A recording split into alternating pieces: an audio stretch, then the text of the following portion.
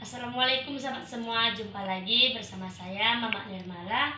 Semoga kita selalu diberi kesehatan dan dijauhkan segala cobaan apa pun dan tetap bersyukur. Amin. Nah, eh, sekarang saya ingin mengolah ini dia ya sahabat semua bewan eh, ataupun talas dewan ya yang waktu itu kita ambil di eh, di kebun karet. Eh, jadi eh, karena tidak ada makanan ah, jadi kita mau mengolahnya menjadi keripik. Ah, sahabat semua eh, ikuti saya ya supaya nanti eh, bisa melihat cara saya membuat keripik ya sewaktu itu kita sudah ambil. Eh, mana tahu nanti sahabat semua jumpa dengan talas dewan nah, bisa diambil ya.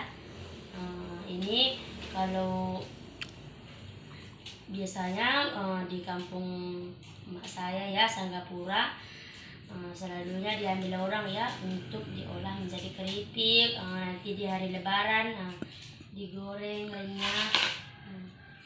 sudah ya sahabat semua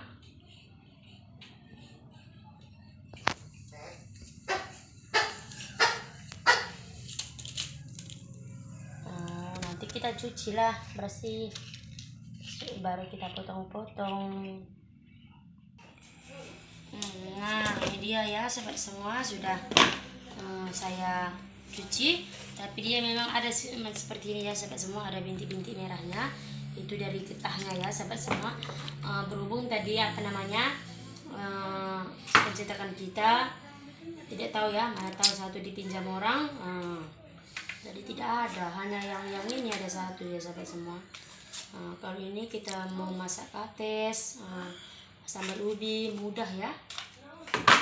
Jadi kita potong-potong aja tipis-tipis ya sahabat semua. Hmm. ini. Nanti kita letak garam sedikit dan kita letak penyedap rasa sedikit. Hmm.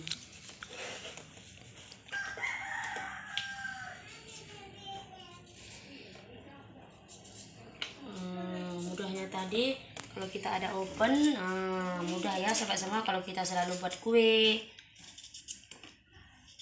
buat roti Campur rahim dah. Ih, ku goreng ti kue Angkut apa? anggul merah Ih, kamu angkut aku. Din, lain serang ku lain. Ini. Tadi Bigi tadi sama Gila.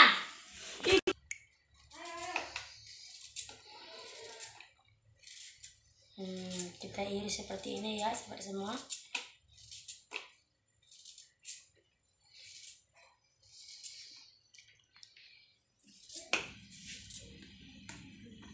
Hmm, saya tahu ini bisa diolah menjadi makanan yaitu eh, kalau di rumah emak saya dulu sewaktu saya gadis eh, jadi eh, tetangga emak saya, emak saya itu banyak orang eh, orang Jawa ya sahabat semua pandai sekali buat mm, makanan. Jadi saya pun belajar dari situ sedikit-sedikit eh, apa yang dia masak. Ih, itu boleh ke bi? Saya eh, untuk dimasak.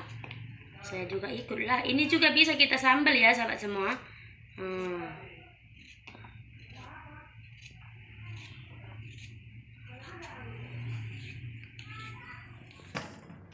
Nah, saya letak sedikit garam ya, sahabat semua. Oh, Oh, dan juga saya mau letak sedikit raiko supaya rasanya gurih.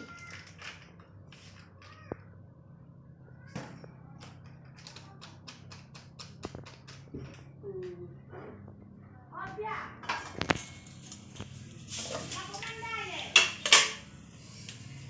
Ih, buat piring? Saya kasih lagi, kau kan tak tiga kali.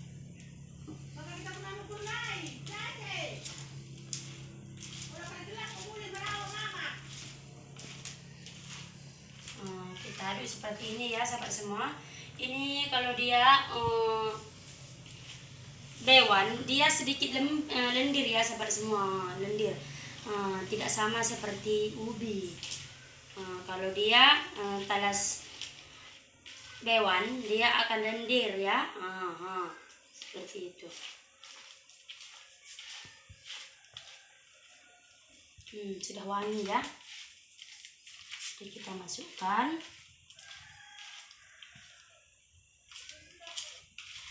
Hmm, kita aduk dulu ya supaya merata. Hmm.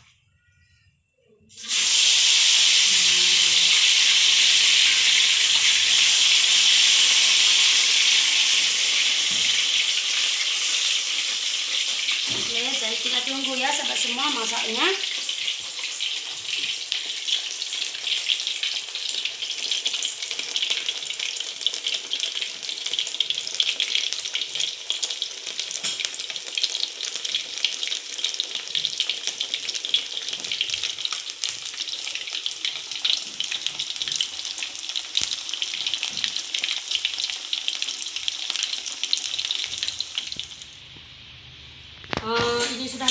Sahabat semua sahabat semua bisa lihat. Ah, dia sudah seperti ketela ya. Sudah macam kentang. Ah. ini pun mahal juga ini ya sahabat semua. Kalau eh, bewan ini per kilonya kita kita jual 2000 tapi memang susah mengambilnya ya. Hmm, kita kecilkan dulu apinya lah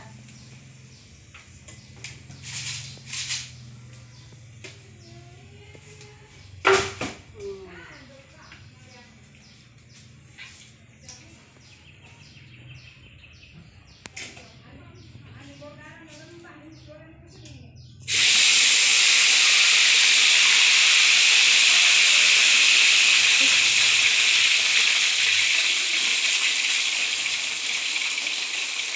Hmm, dia sangat lendir ya sangat semua macam dengan inti dari macam kentang.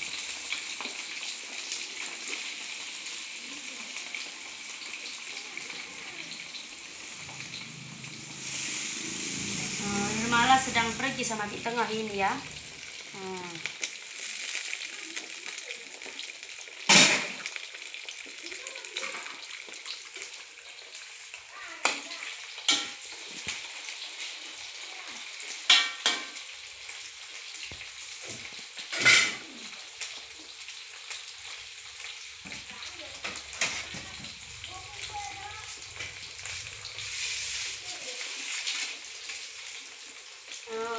Dia cemilan kita hari ini ya sahabat semua. Eh, nanti kalau ada rezeki, eh, saya mau beli oven ya sahabat semua. Eh, bisa buat kue, buat bolu. Oh, sahabat semua bisa lihat ya. Mudah sekali. Hmm.